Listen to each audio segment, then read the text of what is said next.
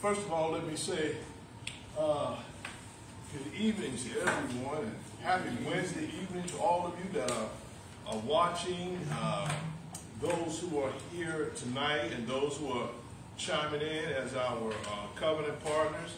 Uh, we're so glad to have you join us tonight. And we say grace and peace unto you from God our Father and our Lord Jesus Christ. Welcome to Goldsboro, North Carolina, here at Mount Calvary. And we're so happy for the ones that are here to see a smiling face. It's like people came here with smiles on their face and faces. And I know you at home, you've probably been working hard all day or just dealing with challenges all day. But we want you just to sit back and relax a little bit and, and chime into our broadcast. Um, we want to continue our study on memory and forgiveness are essential. Uh, they're very important. Our remembering the past, to bring us to where we are now and to our future. But a couple of things that must be done in order to be found favorable in the sight of our God. So we're here tonight not to uh, keep you long, but we hope you have your pens, your notebooks, your pad, but most importantly, your Bibles and your prayers with us. And so we can go ahead and, and dive into our lesson to talk about our topic for tonight. And the topic for tonight is reconciliation, know, bringing back together again. And uh, those who have my syllabus, and those who have, uh, who may not have them, uh, it's kind of lengthy a little bit. So I decided instead of trying to put it all into tonight, then we're going to stretch our series out for another Sunday, another excuse me, another Wednesday, uh, because it's very important that you get uh, what it means to reconcile or to be reconciled one another. So again, let's get started. We don't want to keep you long tonight. And again, glad to have you join us. Let us bow our heads in prayer. Most holy and gracious God, our Father, uh, we thank you for this evening. We thank you for covering, covering us with your grace and mercy. And now, Father, I ask that you bless all the listeners uh, as we dwell and talk about uh, what it means to be reconciled, reconciliation.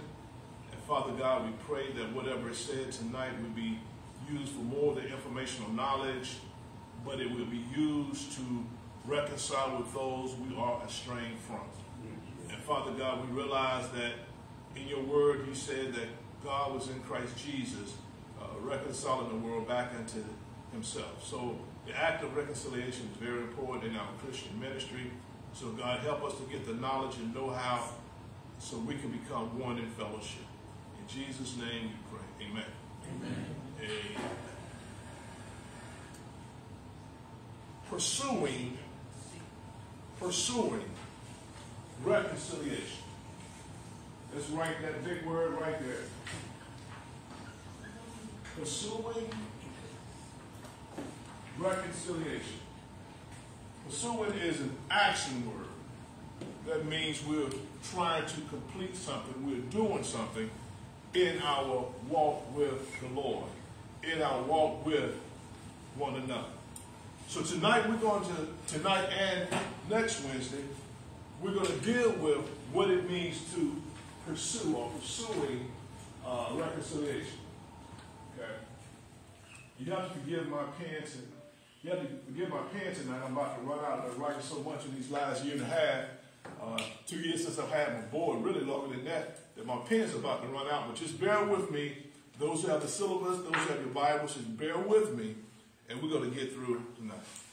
Uh, for the last few weeks, my lessons have been on memory and forgiveness, how they are inseparable, and they are uh, essential to one another.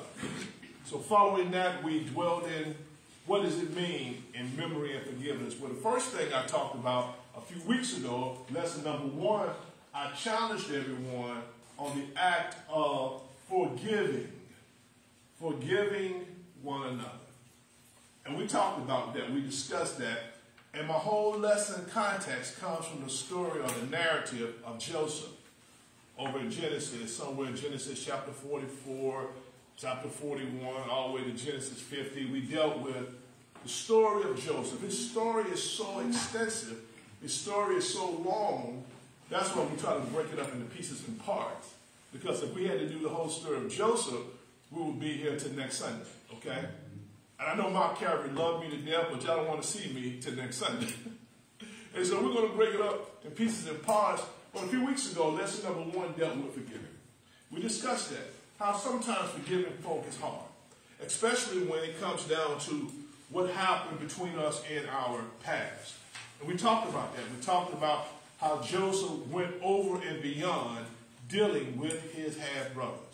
We talked about that. We talked about how Joseph saw the bigger picture. So it wasn't hard for him to forgive. He saw the bigger picture of what God was doing. Right? We know the story of Joseph. He was sold to the Midianites. His brothers put him in a pit. Uh, his brothers were jealous and envious that he was uh, Israel or Jacob's favorite son. And so they tried with all their might, even though one of the brothers, I think it was Reuben, that didn't want to sell him to slavery, but they did it anyway. Joseph went down and had a horrible time, right? He was put in jail. Uh, he was dehumanized. He was accused of doing stuff that he didn't do. But in the end, we learned what forgiveness was because he forgave his brothers. And the number one thing we learned a few weeks ago that in forgiving one another, it's about the wrong. It's about the wrong and the wrongdoer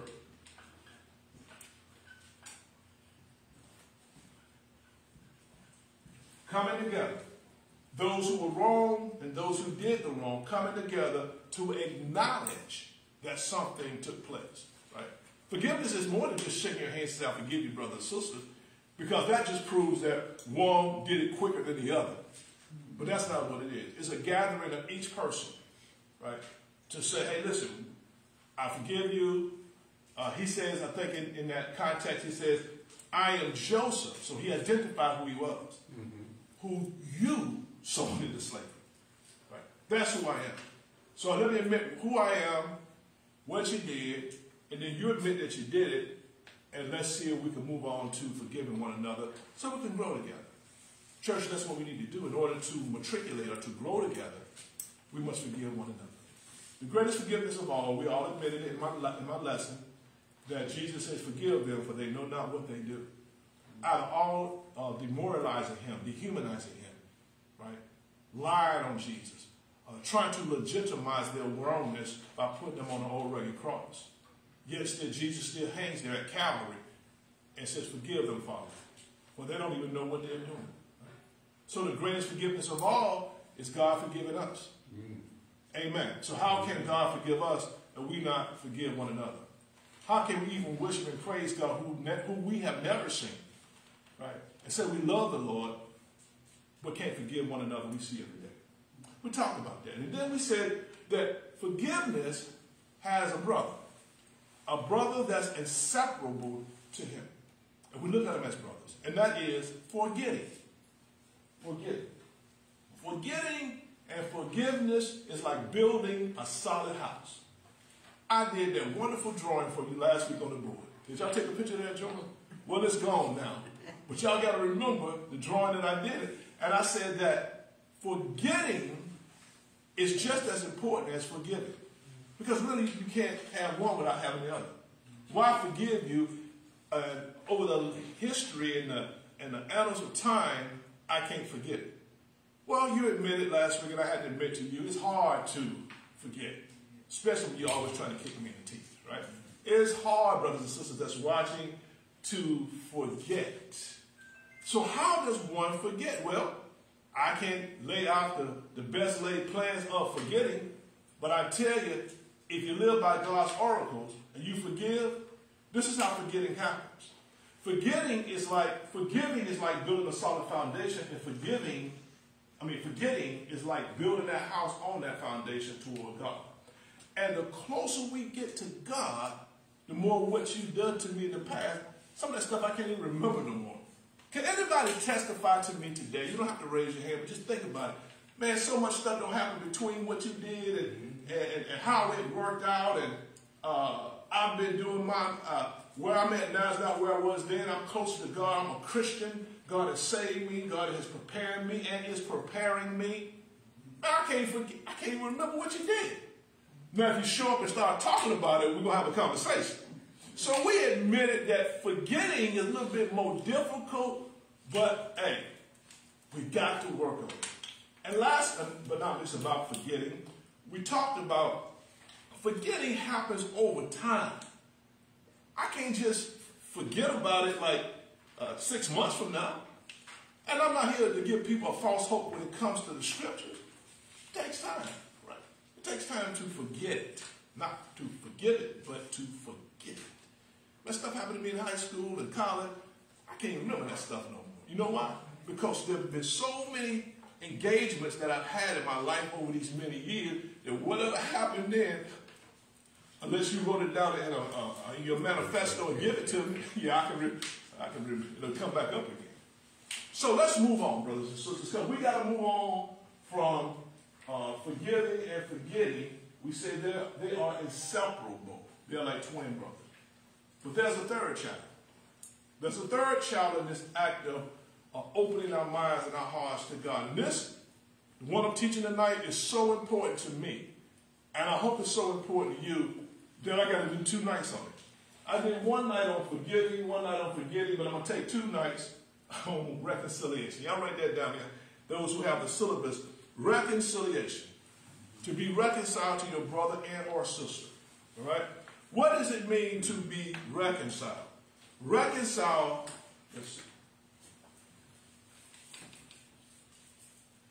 pursuing reconciliation means to bring back into unity again.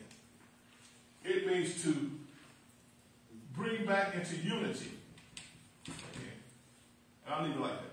We can go and go on and on and on about it, but let's just keep it simple. In that unity, it means harmony. It means agreement. What has been alienated.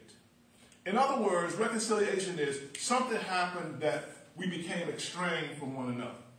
Husbands become estranged from their wives, wives from their husbands, brothers against brothers, sisters and brothers, they get estranged from one another. Friends are estranged from one another. They're alienated from one another because of something that happened, right? Reconciliation, that word re is a prefix. In school, they taught me that re is a prefix that means to do something over again. Right? It means to do something over again. And when you are unified or pursuing unification again, it brings about harmony. It brings about harmony. Right? That goes uh, for us, that goes to our relationship with God. We were estranged from God. I'm going to talk about this tonight in depth.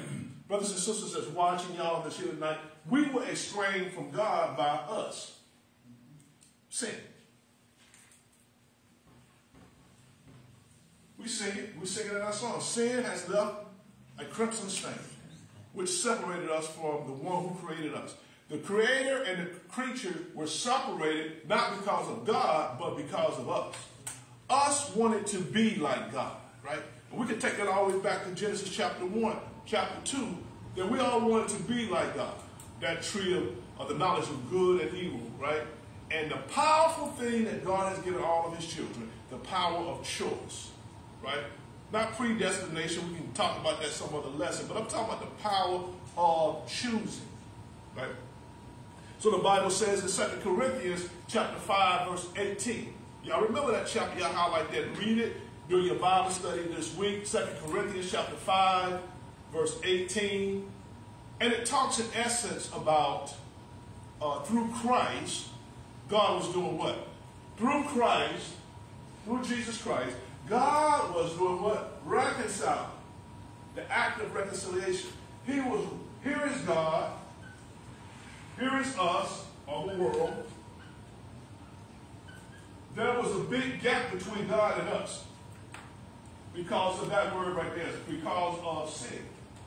So God sent his son Christ, Jesus. We call him Jesus Christ. We call him Jesus Christ the Christ. God sent his son into the world, reconciling the world back into himself.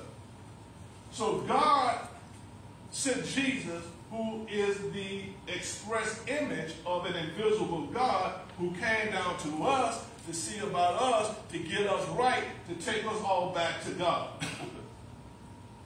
Amen. God was in, that makes me kind of happy tonight to know that, that I taught, I preached it a couple Sundays ago, that he's a personal God.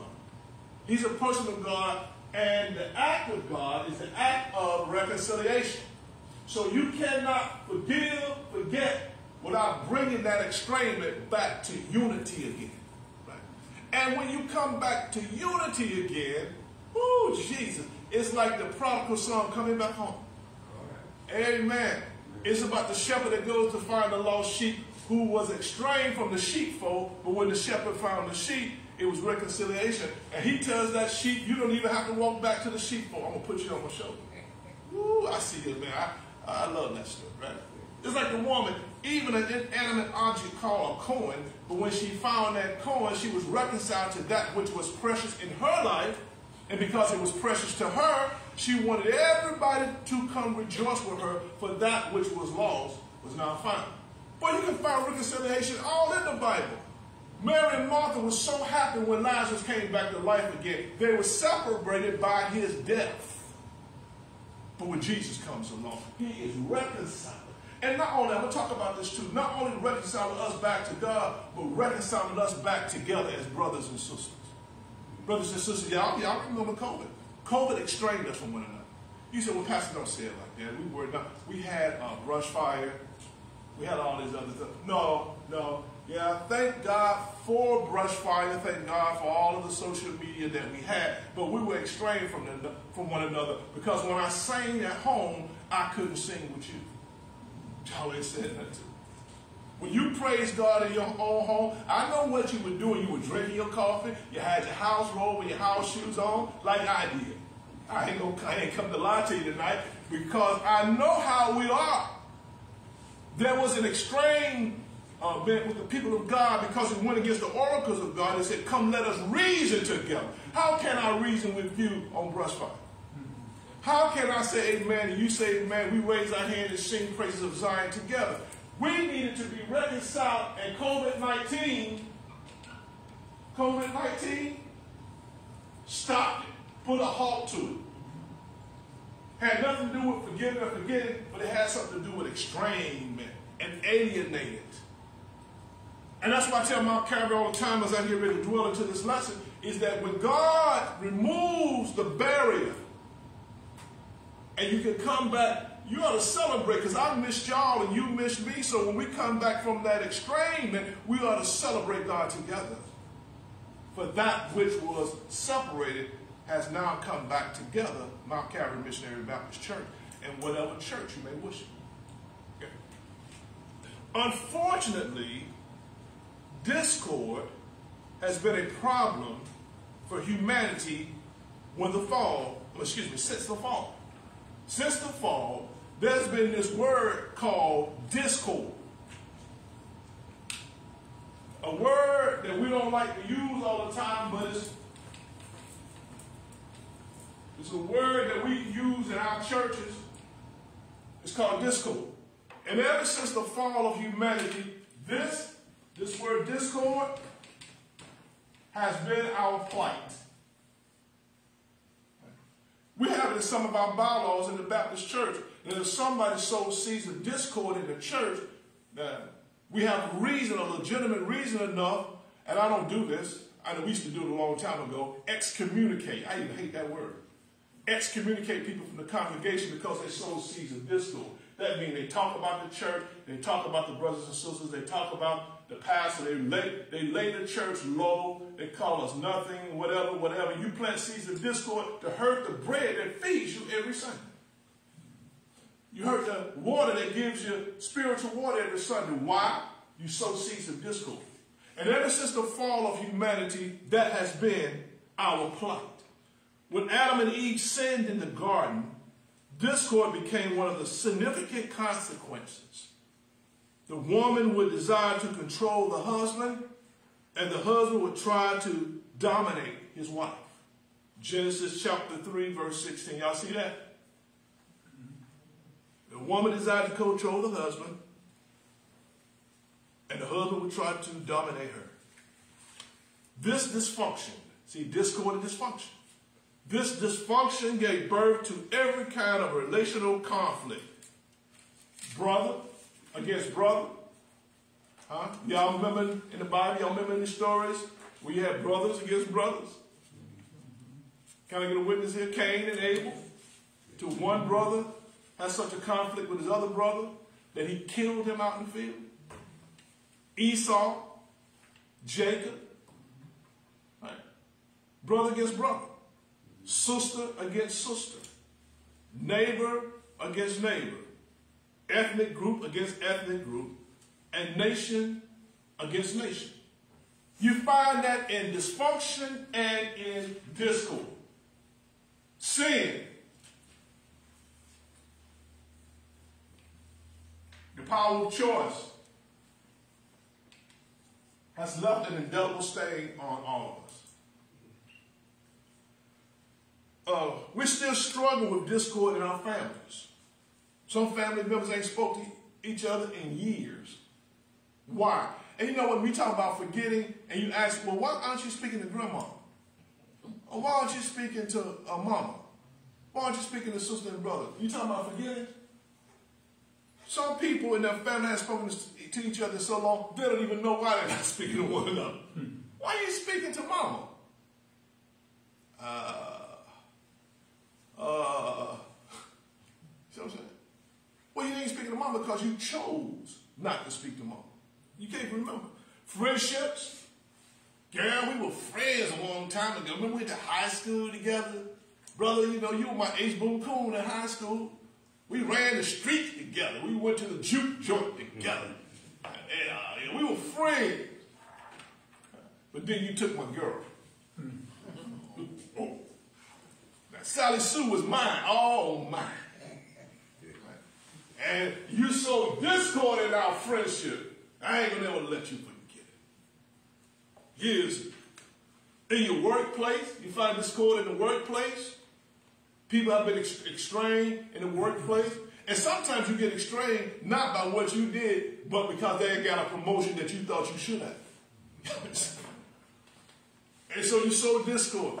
I've been here 30 years, she's been here five years, and yet she get a promotion over me. Discord. Sin, choice, discord.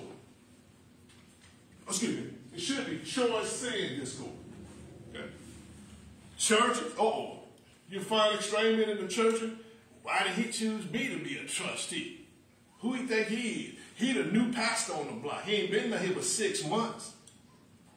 Mm-hmm. Trustees against the deacon, deacons against the trustee, laity against everybody. Sunday school teacher can't get along with the Sunday school class because they keep disagreeing with him or her. of course, you know I'm exaggerating. Well, maybe not. Amen. You got nations fighting against nations, trying to overthrow governments, trying to overthrow land, genocide all over the place. Choice, sin, discord. Alienated, strained, estrangement from one another. How can we achieve? How can we do this? We talk about reconciliation. How do we achieve reconciliation? How can we achieve reconciliation and renew our relationship with one another? All we have is each other. We were made for each other. God made us to have fellowship with each other. But brother, something happened between you and I. sister, something happened between now. That that fellowship has now been extreme. Christ died for our sins to reconcile our relationship with God and our relationship with others, Ephesians chapter 2. Y'all read Ephesians chapter 2 when you get a chance.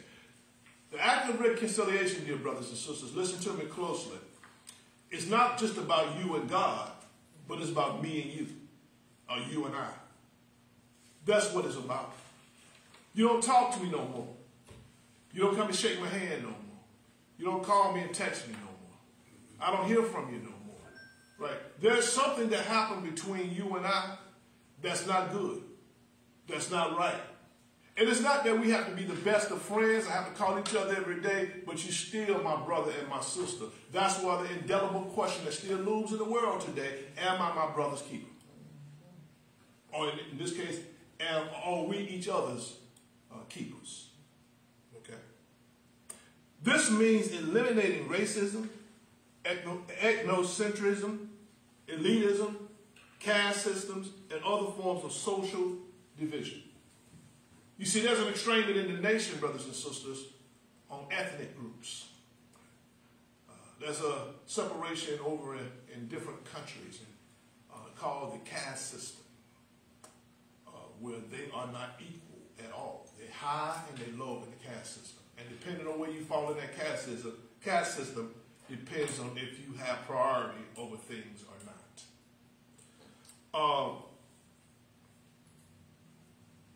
As Christians, we must do our best to live at peace with others as far as it, as far as it depends on us. We got to live peaceably with one another. And brothers and sisters, living peaceably with one another, listen to me closely, doesn't mean we always have to agree on the same thing because we're not clones. Amen. Even when we have our church meetings, when we have our meetings at our, our huddles, at our workplace, right? Uh, even in in our political realm, where it seems like that becoming an impossibility every day, you got to find, or we got to find a happy medium that makes it work for the whole body.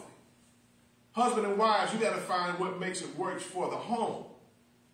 We got to find out what makes it work for the workplace. That's why you have huddles. Trisha talks to me all the time. I think Deaconess Fuller talks about when she was to work. You had huddles and stuff. Why do you, you don't have huddles just to look at one another? Have anybody ever been in a meeting or a huddle, y'all just looked at each other and didn't say nothing? Well, what you do when you get in the huddle, you try to go through the highs and lows, the positives and the negatives. What worked, what didn't work. What can we best do to, to move this program forward? And people get estranged, dear brother, because it didn't go my way. Well, you don't really have a way in God's house. It's about God's way. And God uses us as vessels to make it work in whatever branch of Zion you wish be. Uh, uh, although sometimes reconciliation may not be possible due to the actions of the other party, we must strive to pursue it the best to the best of our ability. Now, reconciliation, that's what makes it difficult because the other party don't want to come into an agreement that something happened. But we have to try to do our best to pursue it with all that we have. So in the end, you can say, and I can say, or we can say collectively, we did the best we could. Don't uh, we should sing on secular song? Uh, I know it's baby boomers. We remember, ain't no half stepping. Y'all looking at me, yeah. That's not a Sam Cooke song, y'all. Okay, that's an old rap song. Ain't no half stepping. y'all. Hey, y'all on Facebook, y'all can't see what they just looking at me laughing. But y'all know what I'm talking about. Ain't no half stepping in God's ministry. It's all for God or nothing at all. Not lukewarm. So we must strive to pursue it, pursue it to the best of our ability. I can't pursue it to the best of your ability because our abilities are different. But whatever God gives us as gifts in the Holy Spirit, use those gifts to try to find a happy medium. And I'm not talking about, when you're finding a happy medium in reconciliation, I'm not talking about giving up your integrity, giving up spiritual dignity, right? I'm not talking about that. Because some things you cannot compromise with, no matter what it's said. And you got to stand on being transparent when it comes to that. That I can't lose what God has given me just to make peace with you. I want to make peace with you based on what God is doing in me and expressing to you. So I'm not going to give up the right for the wrong just so we can be friends, although I'm still pursuing reconciliation.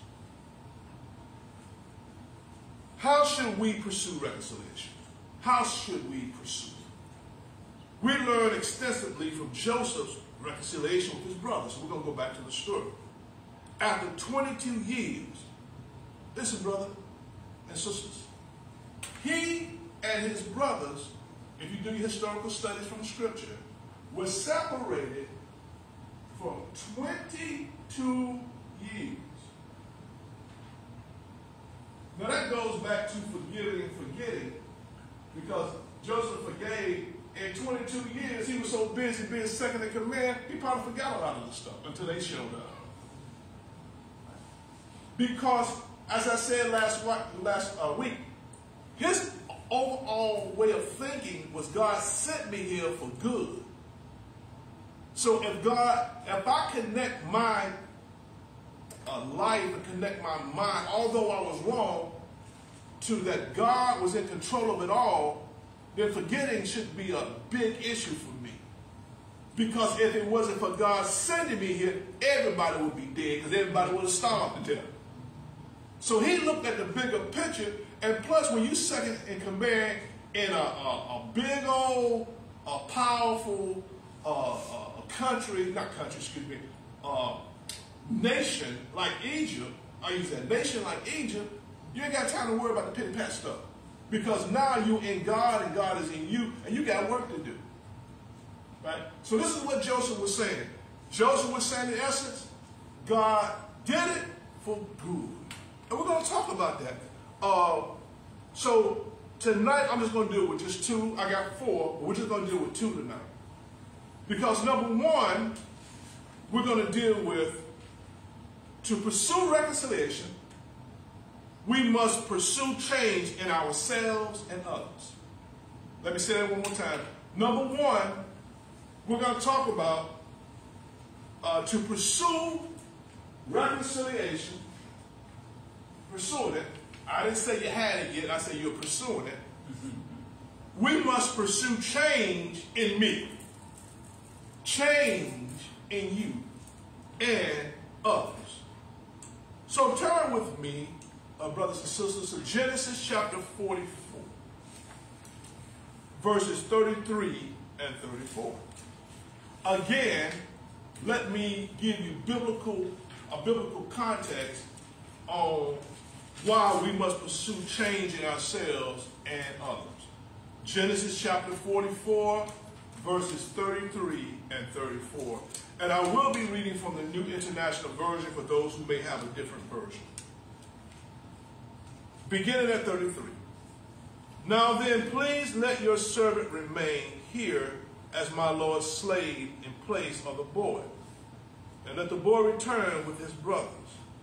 How can I go back to my father if the boy is not with me?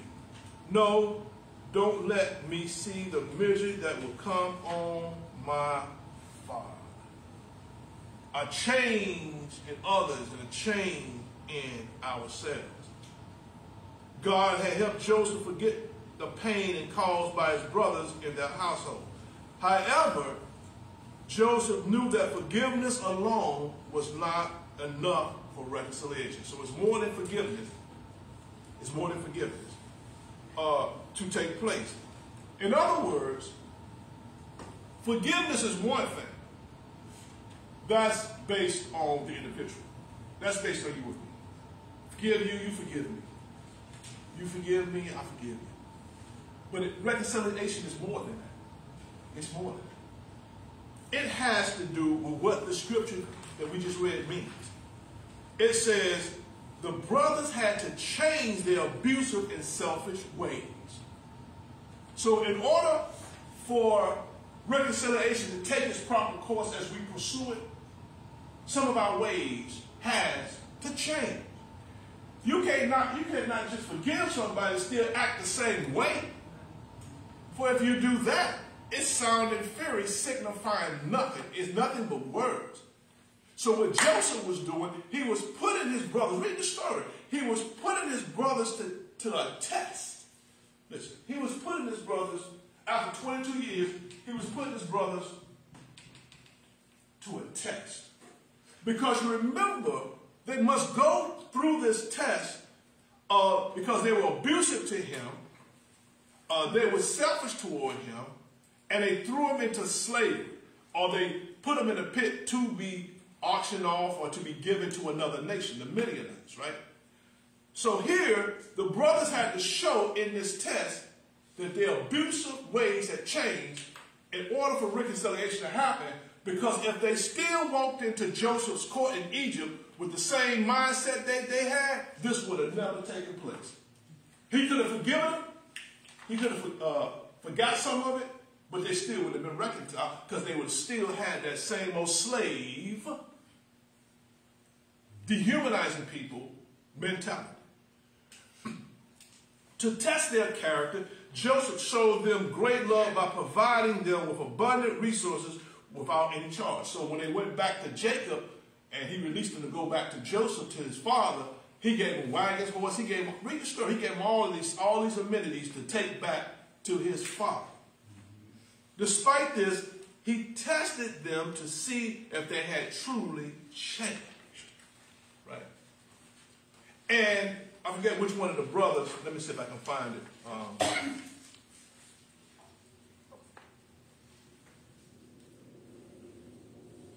um, I forget which one of the brothers, and I don't have it here, brothers and sisters, y'all forgive me. I guess I didn't study that hard. I don't know if it was Judah, could have been Judah. Uh, if you go back to verse 16 of chapter 44, if you go back to verse 16 of chapter 44, uh, what can we say to my Lord? Judah replied, what can we say?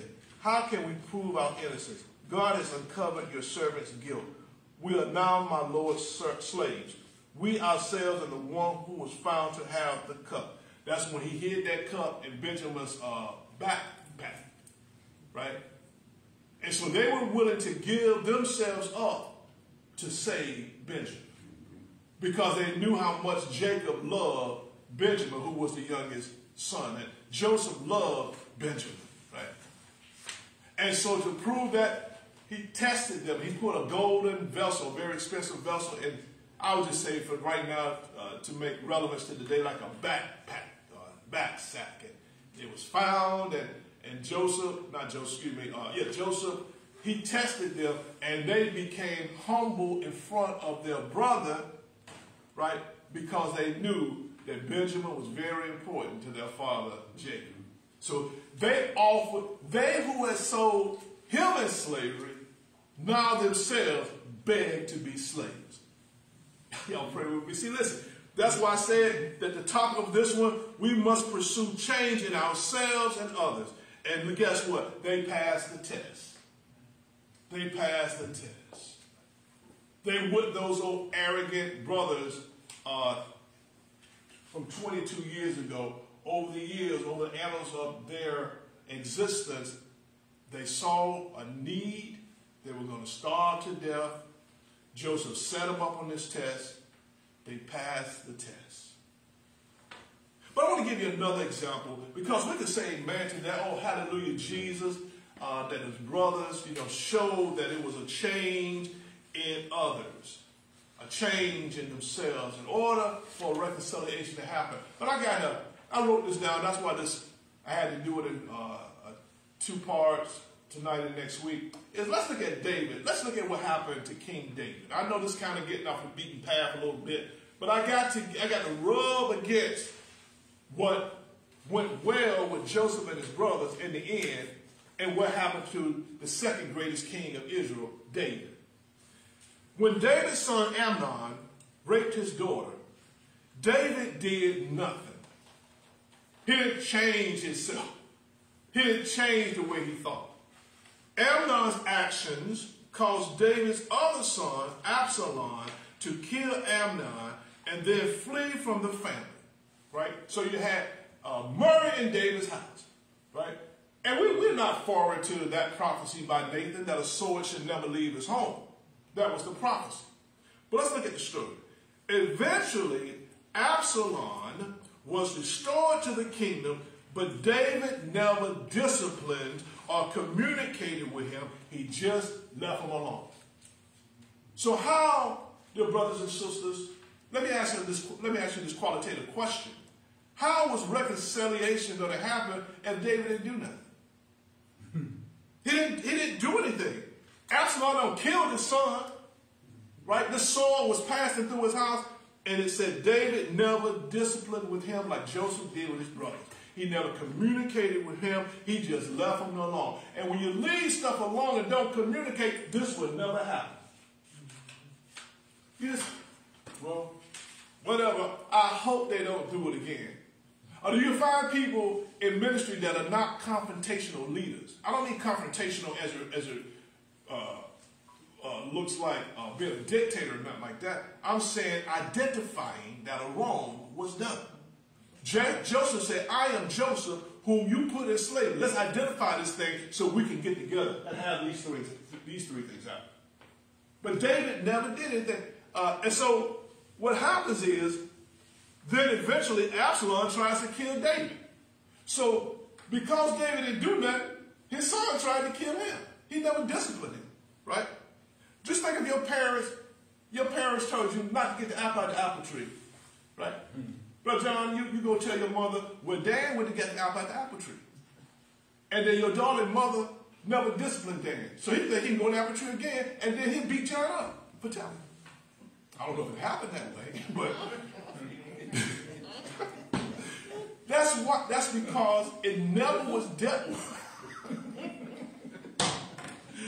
Brother, since I say that because I got one of my favorite people here tonight.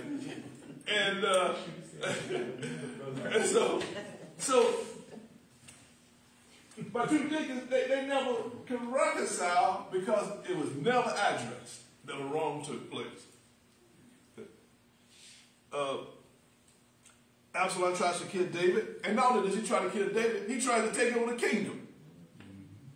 By never dealing with the son's sins, there was no reconciliation in his family. Just pacification. You know what that means? You just pacify. Oh, he didn't mean to do it or she didn't mean to do it. Uh, it's kind of like, have y'all ever seen on TV, I hope I'm talking to somebody tonight, a child or a young person kill somebody them for no reason at all. And I'm saying this because we this has been our reality, at least since I've been in the world. You turn on the news and a child purposely kill somebody for no reason. The first thing the parent says is what? He or she is a good child. Oh boy, that takes everything I have to keep from turning the TV on unplugged. The first thing the parent does is not, I'm talking about, is on film. Somebody caught the child killing somebody on Facebook, you know, we use his phone. And your parents never address that this child or your baby, as you call them, did something wrong. You pacify him or her by saying, oh, I didn't raise him like that. We didn't say that. We didn't say you didn't raise him like that. All we're looking at is the results of what this child did. They don't kill somebody or rob somebody. And the first thing a parent does is, oh, they're a good child. Well, tell me, what good is it in robbing somebody and killing somebody? Like David, you you, you pacify and reconciliation never happens between your child and the person's child that they killed. Or you took somebody out of the community by choice, by robbing from them, stealing and killing from them. Listen, eventually the unresolved conflict blew up in David's face. He never had peace in his home. And the reason I give the brought that beside Joseph, you said Joseph ended peacefully when things were acknowledged, uh, the pursuit of reconciliation happened when there was a change in oneself and others. And the thing I wanted to say is we all have flaws. All of us. Pastor Galmon, all of you that are listening, all of us. We all have character flaws. And it's easy to tolerate unhealthy relationships and behaviors when we struggle with them. But we can learn from David's example and strive to grow and improve ourselves. Whether in dating, marriages, parent-child relationship, workplaces, or friendships, we should never settle for anything less than we deserve. Do unto others as you would have them do unto you. So if you don't want nobody to talk to you nasty and dirty, don't you talk to them nasty and dirty. If you want to treat, if you want somebody to treat you nice and lovely, you treat people nice and lovely. Even if we have negative views about ourselves or past failures that make us feel unworthy, it's never too late to work on our character and build healthy relationships. Remember, we hold the power to change our lives for the better. Let me go back to this. We hold the power, y'all, to change our lives for the better. That comes with choice.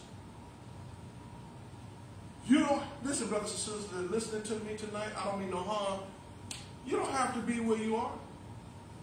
You choose to be where you are.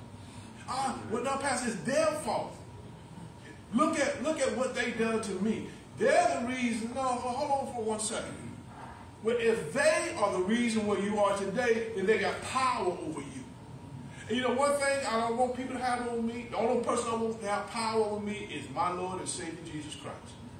I don't want nobody to have no power on me when I choose to do what I do and to live. Uh, what was it? Flip Wilson used to say, the devil made me do it. And then what Flip Wilson used to say? The devil don't have that much power. Oh, that well, the devil don't have power over God, period. So whose are you? You're a child of God. You make the choice. Like, if you want to move from your situation, get a job and save some money. Pastor, don't talk to me like that. No, that's practical. That's practical. Right? If you want to have a, a, car, if you want to have a nice dress or a nice suit, you work for it. You don't go around stealing stuff. Oh, uh, I, uh, my child in jail. They in jail. Well, they in jail because they made the choice to be in jail. Right? Listen, listen. Remember, we have the power to change our lives for the better. You know, that's why I, I, I beg and I plead with people to look at your life. Look at where you were. Look at where you are now. And where do you want to be? And if you say you can't, you won't. But if you let the little train that they taught me when I was a little boy, I think, going up the hill, was that it? I think I can, I think I can, I think I can. And then when he got over, he said, I know I could, I knew I could, I knew I could. So let's be the little train that's coming going up the hill tonight. Not only do you think you can, but I choose that I will. Genuine reconciliation can only be achieved when both parties genuinely repent of their doings. It all begins when the gossip stops spreading rumors, the wife stops criticizing, the husband stops using harsh words, and the offended party stops holding a grudge. A change in character is crucial for both parties to pursue true reconciliation. Remember, brothers and sisters, character change is not only necessary for ourselves, but also for others. So to pursue reconciliation, let's look at me, and you look at you, and if something happened between us, in order to really reconcile, let's get together and discuss it. Because right? I miss you, right? I miss you. I miss being around you. I miss the fellowship that we had. You know, I, I, I, I, regret that a thread separated us. I regret that a drop a day split us apart. And when I really think about it in my forgiving and forgetting, I say, well, that's good, but I got to reconcile because I, I miss hanging out with you. Here's the last one. Number two. To pursue reconciliation, we must focus on God's sovereignty, not others' failures. We must focus on God's sovereignty. You see, reconciliation comes from the top. That's God. And not focus on others' failures. Well, where you get that from, Pastor? Well, turn with me to Genesis chapter 45, verses 1 through 9. Genesis 45, verses 1 through 9. Then Joseph could no longer control himself before all his attendants, and he cried out, Have everyone leave my presence. So there was no one with Joseph when he made himself known to his brothers. And he wept so loudly that the Egyptians heard him, and Pharaoh's household heard about it. Joseph said to his brothers, I am Joseph. Is my father still living? But his brothers were not able to answer him because they were terrified at his presence. In other words, they were like, What? He who we dehumanize now rules over us.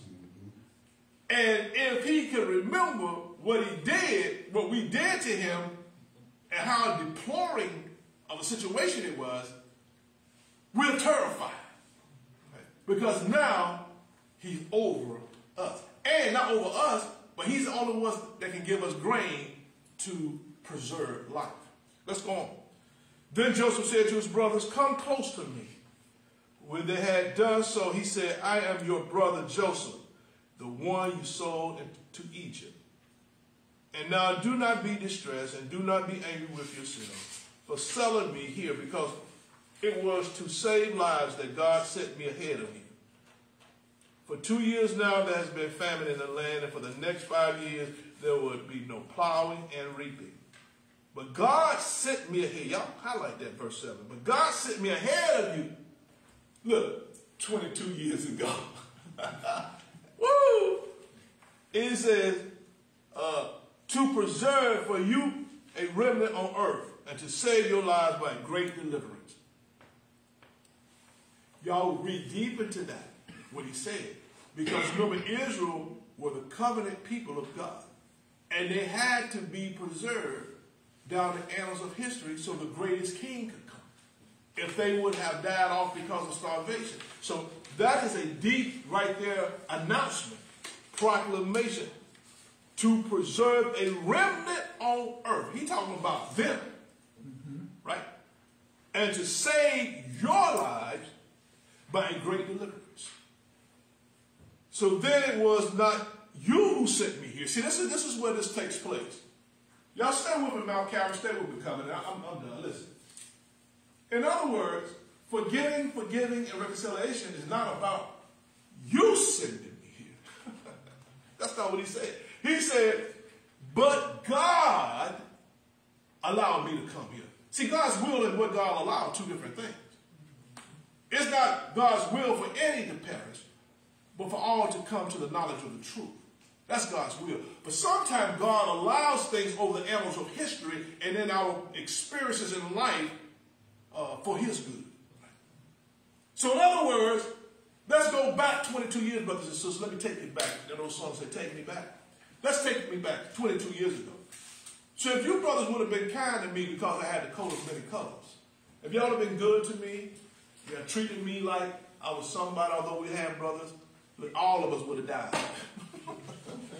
that don't make sense. All of us would have died. Because by interpreting Pharaoh's dream, there were going to be seven years of plenty and seven years of famine. And what did I teach like two weeks ago? When the seven years of famine came, they forgot about the seven years of plenty because it was so horrendous. And so he says here, he made me father to Pharaoh, lord of his entire household and ruler of all Egypt. Now hurry back to my father and say to him, this is what your son Joseph says. God has made me Lord of all Egypt. Come down to me and don't delay. See, Dad, you hadn't seen me in a long time, but you're getting ready to see me now. I might look a little different because I've been down here in Egypt like Moses. Moses looked like an Egyptian until God called him to his next powerful task of leading the Hebrew people out of slavery. I may not look like what I used to, but it's not about how I look. It's about what God is doing. So bring them on down. Bring dad on down. Right? And let him know while you're talking to him, I am head, second head of all of the most powerful nation in the known world. He declares, I am Joseph, your brother, whom you sold in slavery. Ashamed, shocked, and afraid, they no doubt began to believe his story. Joseph quickly comforts them and says, Now do not be upset and do not be angry with yourselves because you sold me here for God sent me ahead of you to preserve life. Joseph aims to comfort them with God's ultimate purpose through their evil act to preserve life. Don't you know what happened to you in the past that you call evil? They did evil to me, Pastor Galmon. They treated me dirty. But look at where you are now. Look how that evilness defined who you are in Christ today. Come on, put your hands together say amen. That, that made a lot of sense right there. The evilness defines your purpose today. He says, from, from verse 5 to verse 9, Joseph mentions God's name four times. And if y'all count another one, let me know. But I counted four times that God's name was mentioned from verse 5 to verse 9. This was classic Joseph. When he met with the baker and the cupbearer, he said, Doesn't the interpretation of dreams belong to God? That's number one, chapter 40, verse 8. When he met with Pharaoh, he said, I cannot interpret your dreams, but God can. That's chapter 41, verse 16.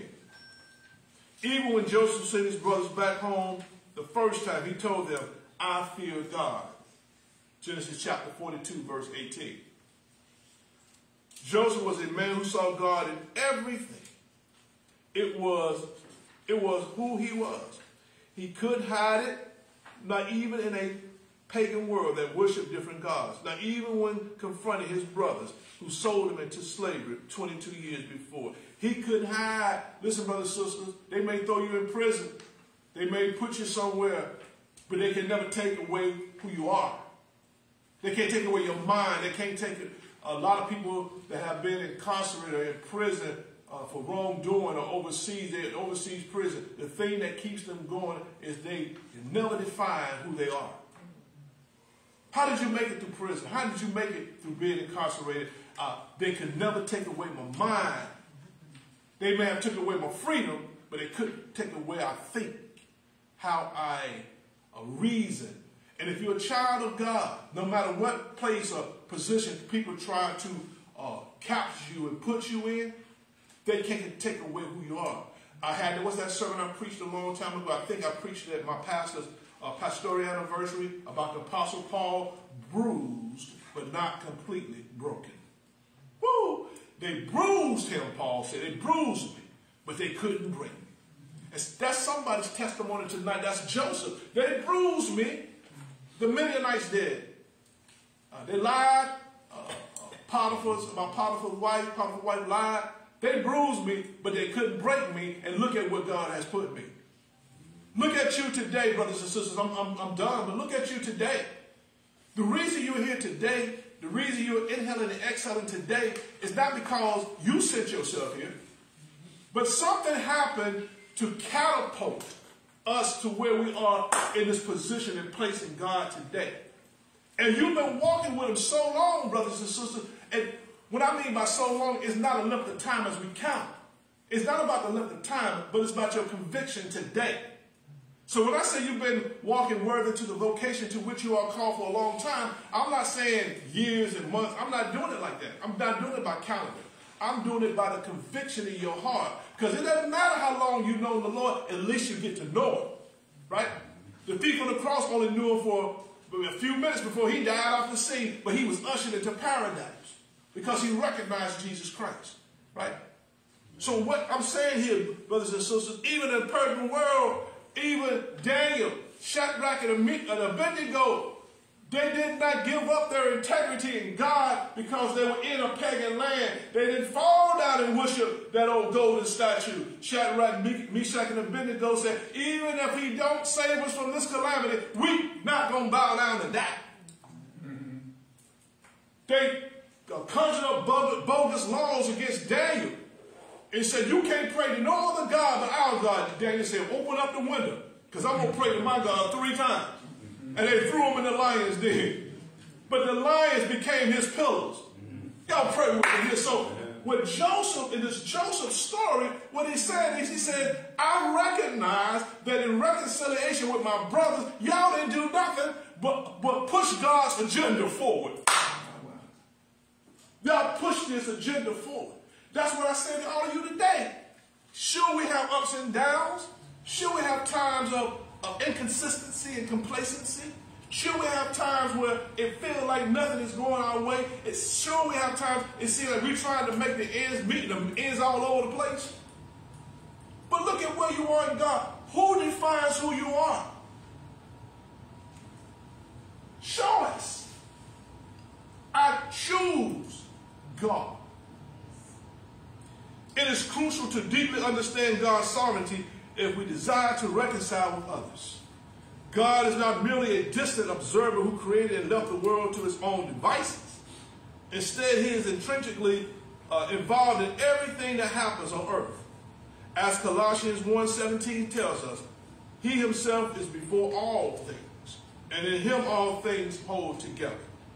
God's sovereignty extends over everything, and he is in complete control. So why are you worried? Why are you fretting? That's it, y'all. I'm done. Why are you worried? Why are you fretting? God is in complete control. Well, Pastor Galmon got a, uh, uh, Pastor Galmon, I, I, got some situations and challenges going. We all do. Think about if you had those situations going and you were not a child of God. I don't know what I would do. I don't know about y'all. I see y'all smiling. I, you know, I don't know. That's why I'm so glad the Bible says we have to like folk because everything people do, I don't like. But God says you got to love them, right? And so, those two things, remember those two things. To pursue reconciliation, we must pursue change in ourselves and others. To pursue reconciliation, we must focus on God's sovereignty, not others' failures. And next week, we got the last two. Next week, we're talking about to pursue reconciliation, we must overcome evil with good. Number four, to pursue reconciliation, we must let go of others' past failures and not continually bring them up. That's going to be a good one. We got to let go of others' past failures and don't continue to bring them up. When you let them go, stop bringing them up. Uh, I ain't going to get into that now. I'm done. Come on, if you love the Lord like I do, one more time, put your hands together Thank you so much, covenant partners, for joining us uh, this evening. Hopefully something was said that pricked our heart, that pricked our minds, and to do God's will as we pursue uh, reconciliation. Uh, come back and join us uh, on this coming Saturday for our uh, call to care, words of empowerment and prayer. Sunday morning at 9.30 for our teaching Sunday school, and 10.30 for our worship experience here at Mount Calvary. And if you want to receive, I know I had one person tonight uh, said they wanted to receive one of my uh, syllabus through email. Uh, just hit us up on the Facebook page, your email address, and it's easier to follow along if you had it in front of you. But if you have your Bibles, that's, that's okay. But I want to send this to you. I have it logged in my computer. And all you have to do is put your email address in, touch what button, you have it. And you can follow along with us. And when we're done, when we're done with the series, then you can have it in your portfolio uh, or in your study manuals uh, to pull up at a later time. And so again, we're praying for all of those who are sick and shut in. We're praying for all of our members here at Mount Calvary, all of our senior saints, all of our, all of the people that stand in the need of prayer. All of our covenant partners, we're praying for you and your church ministries. Uh, we pray for everybody. The Bible says that we ought to always pray and not faint. That the prayers of the righteous availeth much. So we love you here at Mount Calvary. Uh, may God continue to bless you and keep you in his care until we see each other again. And until then, let us bow our heads in prayer. Father God, in the name of Jesus, we thank you for this opportunity uh, to share in these words, God, these words uh, about reconciliation, Father, it's very important that we understand what it means not only to be reconciled to you, but also to be reconciled with one another. And so, Father God, thank you, God, that the things that we did in our past or happened to us, everything that happened to us, God, we realize that you allowed it to happen to bring us to the position and the place we are today. And we say, glory to your name. Father, we ask that you would bless those who are not feeling well tonight, those who are disenfranchised, the poor, the needy, the ones that are struggling, the ones that are hungry. Father God, help us to be vessels in this world that sheds light on those who are hopeless, those who feel like they're still captive by past events. And Father God, I pray as vessels we can still become that salt of the earth that has not lost its savor. Now, Father God, we realize there are many that are in prison that have been falsely accused. Uh, there are many that are in hospitals and nursing homes that cries out every day because they're hurting. I pray comfort and healing in their lives and in their minds. I pray for every church that is represented here this evening. I pray for every covenant partner church member that are watching us and chiming in tonight, whether by teleconference or by Facebook. Father, I pray for Mount Calvary. I pray for all of our membership, from the greatest to the least of us, God. I, I pray that you would continue to help us to focus on this kingdom ministry journey so we can be all that, not that we need to be, but all that you will have us to be, to stay on kingdom purpose for you to reach out to those who are just hopeless, God, and feel barren in life. Oh, God, we just thank you for tonight, and we just thank you for your presence. As we end this prayer and leave one another, but never from your presence, be with us and guide us, God. Guide our minds while we run this race. Guide our heart and our feet while we run this race, because we don't want our running to be in vain. Thank you again. In Jesus' name we pray. And the people of God said, Amen. Amen. Listen, y'all have a wonderful evening. God bless you real good. Hug somebody, tell them you love them. And we look forward to seeing you in the next few days here at our call to care. Again, have a wonderful evening. God bless you. And we'll see you real soon.